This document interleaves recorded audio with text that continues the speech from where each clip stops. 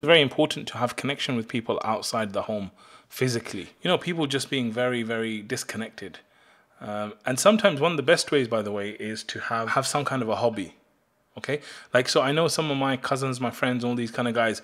They actually stay in contact because they all play football on Thursday evenings, for example. They see each other every week. They are there. They're doing something productive outside of just you know sitting or eating or whatever, um, and they get to connect with each other. Uh, back in the days, I used to do this thing. I haven't done it for a long time, but I used to do this thing where once a week I would ring someone randomly. Like, let's say there's a friend I haven't spoken to in six months, I would ring him, or a cousin I haven't spoken to in a year, I would ring him, and it's a it's a very enriching thing actually. Like because usually people only call you when they want something, right? So they're like, okay, like let me call this guy because I need money, or let me call this guy because I need advice, or let me call this guy because I need his help, right?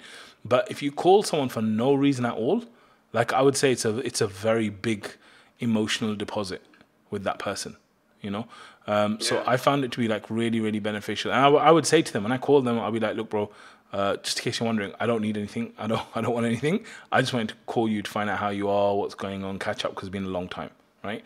And I found those calls to be really amazing. So I think doing that with, like you said, your cousin and family and all, I think that's really good.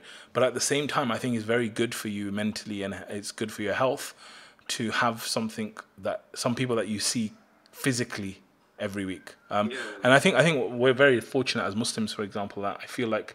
Uh, the masjid, for example, if you go to the masjid regularly, like that's that's actually my only connection to people. As I've just moved to Morocco, I don't really know many people here right? So I'm kind of in that situation where I'm starting from zero.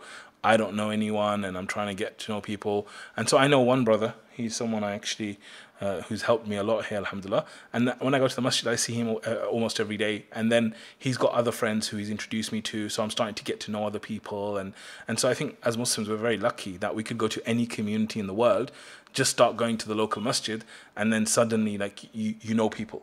Um, I do think it's harder in, in maybe Pakistan, India, all these kind of countries because the type of people that go to my masjid here are very different to the type of people that went to masjid in, for example, in Turkey. So I used to go to the masjid in Turkey, but in Turkey, like it was just full of old men.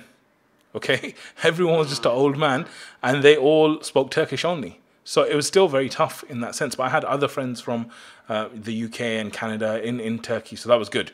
But here, where I go to the masjid here, like a lot of the people are from Europe. Most of the people, the young guys, are from Europe. So the, mas- the masjid is filled with young people, and then loads of them are from Europe, and then loads of them speak English.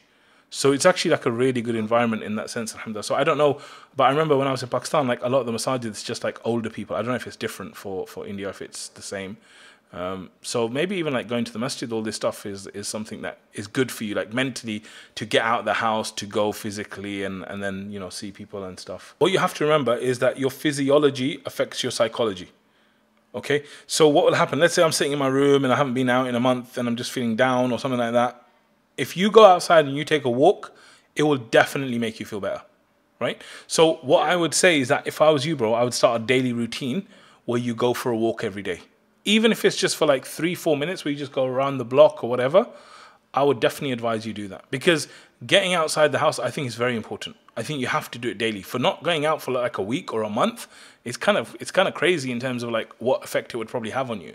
So I, w- I would say that that's something you should do between now and next week. You should just try going out for a walk like two, three times in the week and see what happens. I want you to try this. I want you to physically go out the house two, three times for a walk. I think like we live in a very digital kind of age and life and stuff, I think is very important. Is that when you're outside doing a walk, you can always do adhkar.